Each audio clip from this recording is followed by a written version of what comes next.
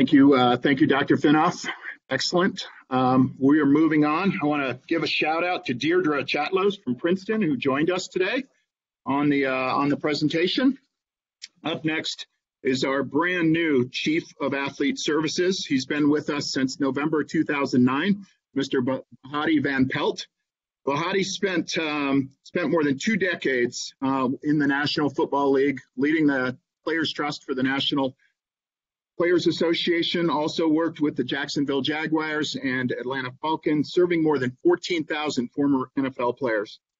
Um, it's uh, our pleasure to have Bahati join us this morning. Thanks, Bahati. Hello, everyone. My name is Bahati Van Pelt, and I'm the Chief of Athlete Service for the United States Olympic and Paralympic Committee. Today, I'm going to give you just a brief overview about the Athlete Services Division and how the USOPC is engaging our athletes to better serve and support them not only during their competition, but when they transition out of their competitive sport. The first slide you'll see is just an overview of the athlete services. We're going to start with our ACE program. So you can see this is just a breakdown of ACE by the numbers, giving you a full understanding of what we're doing in the career and education space.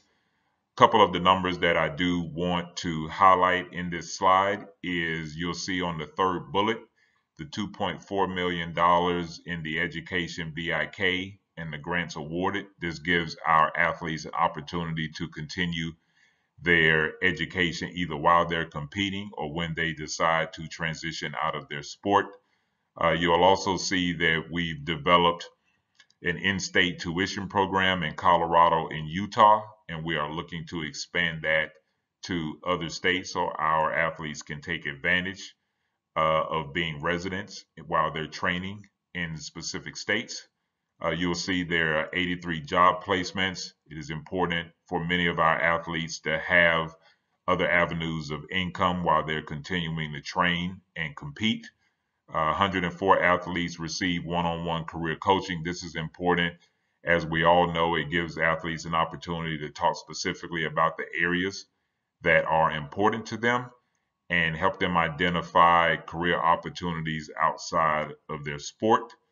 Uh, and then the last bullet, uh, just touch points, increasing engagement opportunities for ACE to talk one-on-one or in small or large groups with our athletes to help them understand the resources that are available to them as a Team USA athlete.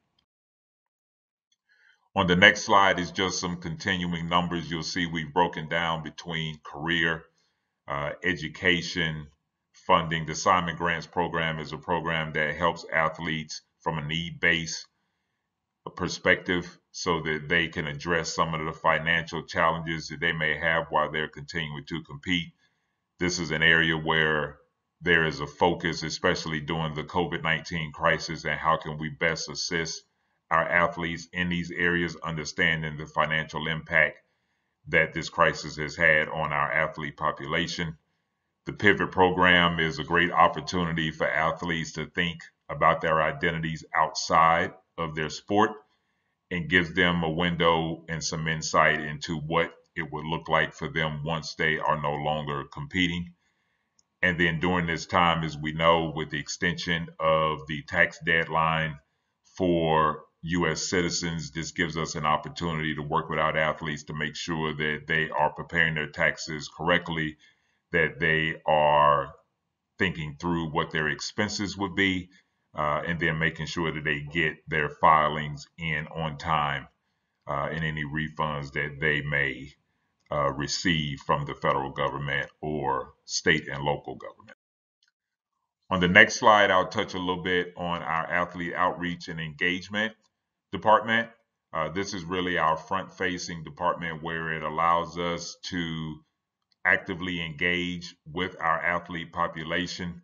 Uh, two big areas, two big groups that we spend a lot of time making sure that we are connected to is the AAC, which is the Athlete Advisory Council, and then the USOPC uh, Alumni Association.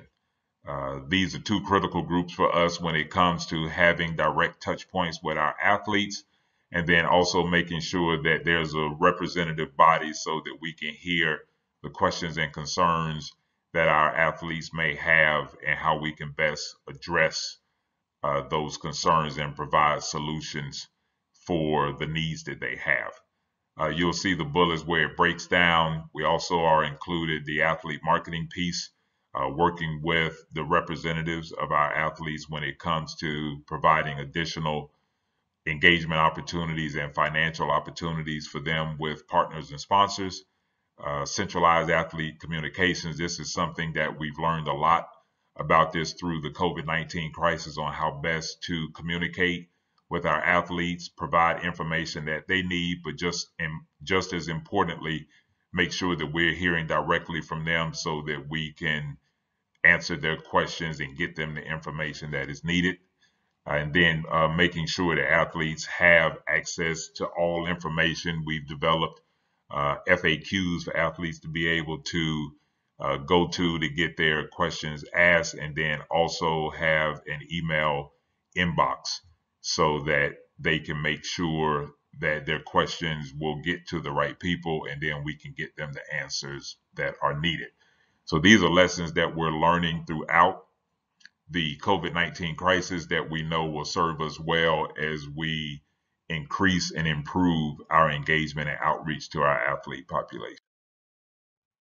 On the next slide, it's an overview about our alumni relations.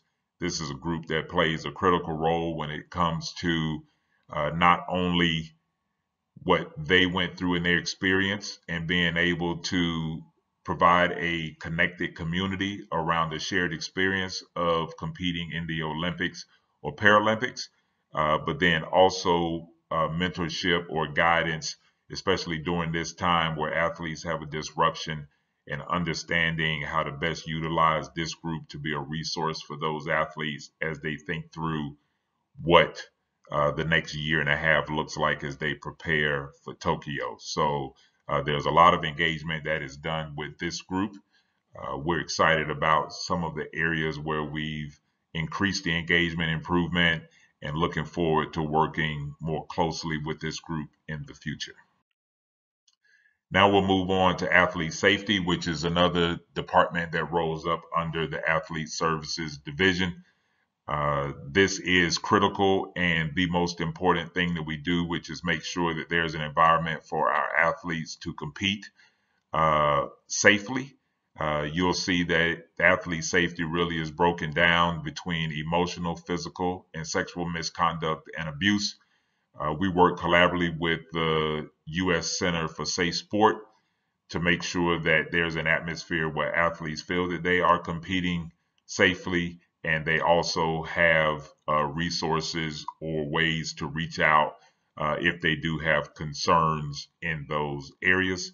Uh, we also have internally our USOC OPC uh, athlete safety department uh, where they do have jurisdiction over uh, different complaints uh, or things that rise to that nature, including our training centers in Lake Placid and in Colorado Springs.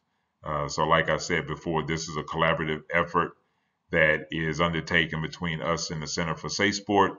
And then there's also the NGB uh, collaboration and coordination that occurs between the USOPC and the governing bodies. The next slide is just a continuation, just gives a little more breakdown into how uh, you can report or athletes can report to the USOC Office of Athlete Safety, uh, how you can connect with the U.S. Center for Safe Sport, uh, and then it gives a breakdown of the levels of escal escalation uh, when it comes to this particular area. And then last but not least, I will end with sports medicine. Uh, Dr. Jonathan Finoff, who you heard from earlier, uh, has come in, and even though he's been focused mainly around the COVID 19 crisis and the things we need to do to keep our athletes and our uh, overall staff uh, safe and well during this time. Uh, our uh, sports medicine team is still working to ensure that once things are back up and running, that we have uh, an atmosphere and an environment where athletes can come in, and be taken care of from a health and wellness and physical standpoint, uh, and making sure that we are up and running and ready to accomplish what we want to do, which is get our athletes to the starting line uh, as healthy and ready to go uh, for their competition as possible. Um, so I, this concludes all of the areas that roll up under the athlete service division. Uh, I do want to highlight just one more thing within the sports med that is not just about uh, the physical, but it is also about how we provide resources when it comes to mental health and wellness so that our athletes are uh, holistically taken care of uh, from a sports medicine standpoint.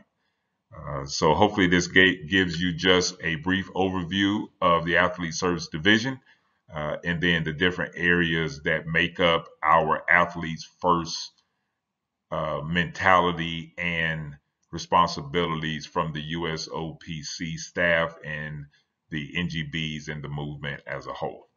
Uh, so thank you for your time.